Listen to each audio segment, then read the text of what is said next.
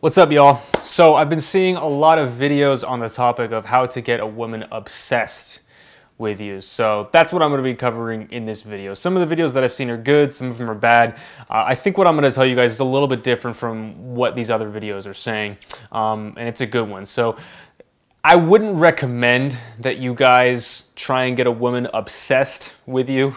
Feelings of obsession are not healthy, but I mean, let's be real.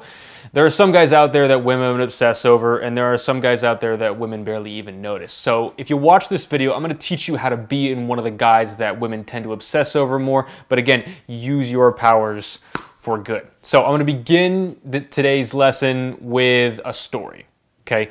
Uh, and this story happened to me about, you know, a couple years ago.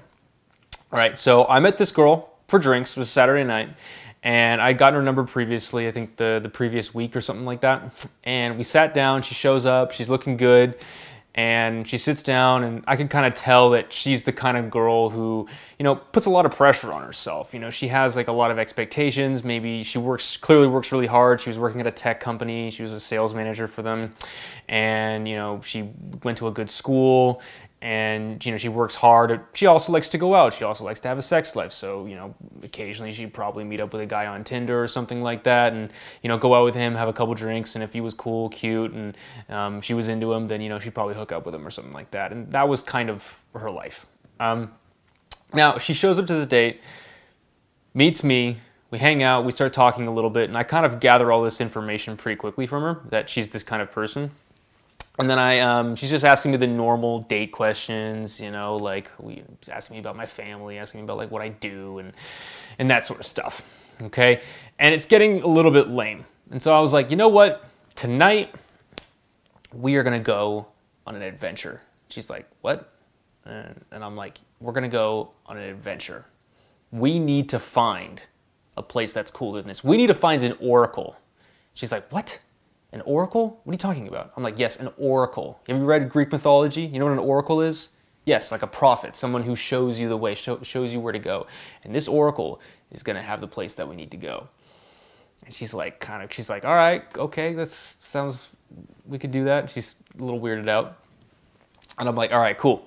So we begin. So we head to this other, uh, other bar that was just down the road. We go there, meet a couple people, hanging out.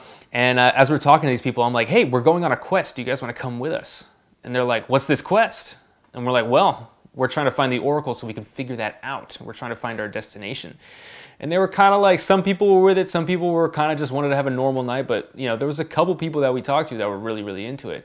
Anyway, again, the, I keep talking, keep bringing this up, and the more I'm bringing this up, at first she was just like this is his thing. He's doing this. She's a little reluctant to play ball. But then she starts to get into it. And now she's like all right yeah we got to find this oracle. And we found we found fellow allies to go with us on this adventure to find this person. And eventually we came to this one bar. It was kind of like an underground not, not really an underground but more of like a hole in the wall type bar. We go there and there's a guy like kind of older like with tattoos and stuff who's smoking in the back and I'm like, I think that's our oracle. And she's like, she's like, you think so? And I'm like, yeah.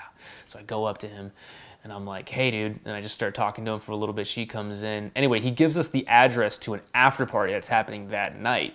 So anyway, we go with this random dude that I just met, and he was our prophet. He was our oracle. He basically showed us the window to go to this cool after party. So we go to this underground after party with our allies, with all of our friends, and then we start meeting more people. We start meeting more uh, of all these people. Anyway, the cops come halfway through this underground after party, and we got to run away. So we run away. We end up going back to my place, and she was like, she, when we got back there, she was just like she had never done that before. She was exhilarated. She was happy, and obviously the night ended uh, pretty well for the both of us uh, after that. And this story that I'm telling you hasn't just happened once. It's happened many times. What about this story is different from what happens to a lot of other people? Like I said, this girl, when she was walking through life she was she made a, a lot of effort to fit in, to do the right thing. I took her out of that. It's it's painful to be in that position. A lot of women, a lot of people, you know, especially women, they they grow up with a lot of expectation from their parents, from their friends, from, you know, their teachers, from whoever, okay? They, especially, they're they're judged very harshly for their appearance, for the way they act, and it sucks. It sucks. It sucks for, for men too, but for women, I think they're judged a little bit more harshly in this particular area. And when you have someone who's like that, what's normal for them and what their life is, there's pain there. The way you get somebody obsessed with you is you take them out of the pain. This is why a lot of women, when they get in high school, they start hooking up with like people who sell weed or do drugs or party a lot because their life just going to class, like trying to fit in, trying to be the popular, like it, it it's it's stressful and it's painful for them. It's like a dull, lame, you know, slowly dying way of existence. And a lot of women feel this very strongly. Not every woman that you meet is, is actively in pain, but if you look at the statistics, a lot of them are. Okay? And if you're the person that can take them out of the matrix, so to speak, that can show them that they don't have to think like that, that instead of just having a normal, like boring Saturday night date that ends with just a hookup that leads nowhere, I took her on an adventure. I showed her that this life doesn't have to be lame and boring. I showed her a different world, a world that was with me. Now, if you can do this, if you can bring somebody into your world and take them from the pain of their, you know, whatever their existence is, they will be obsessed with you. No bigger force in a person's life is when they're being um, driving them away from pain. Okay. Now, like I said, not every girl is going to be the the right candidate for this because they're not in pain. And sometimes women do go for the wrong guys and they become obsessed with the wrong guys because they are in pain currently.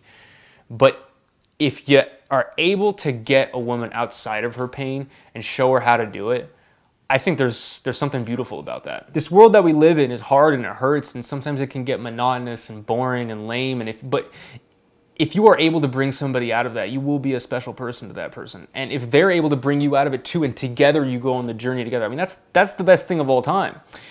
But at least if you're able to create an environment, just turn average situations like I did, rather than you going on a date, you go on an adventure, rather than you just playing a simple, I don't know, um, a, a, game of um, a simple board game. Now you're going on like a quest. Like make it into something fun. You're not just going to uh, like my, you know, beaten up station wagon. We're going to the chariot. Okay, make your life into something interesting. Make your life, even if it's normal and ordinary and boring, turn it into something exciting. Bring some excitement into her world. And if she's in pain, I guarantee you she's going to become very, very obsessed with you. I've done this numerous times. But here's the thing once you give this to a girl, show her how she can bring this into her own life. Don't just be the source of her only happiness and you, you're the only one who can give it to her. If you inspire her to do it herself, then she's going to be a lot better for it and she's going to be someone who never, not only is she never going to forget the experience that you gave her, but she's never going to forget you.